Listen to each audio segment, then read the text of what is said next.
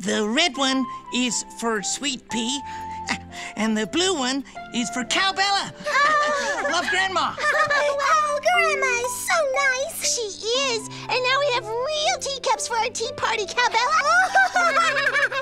open it, open it. Oh, there's my blue teacup. Isn't it pretty? Yeah, it sure is. I love blue. And it's all mine.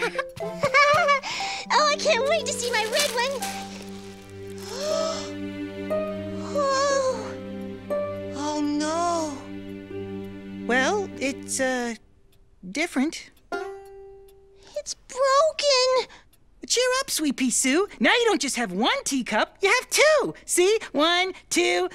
Uh, right. I, I think I need to, uh, go to the bathroom. Really wanted my teacup for the tea party. Well, maybe you could use a regular cup, Sweet Pea. Or maybe, Cowbella, you could share your blue teacup with her. No! No? No!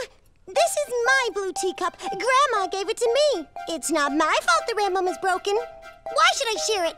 Well, maybe because I'm sad. And sharing your teacup might make me feel better, Cowbella. Well, it wouldn't make me feel better. Mm-mm. Oh, now I'm mad.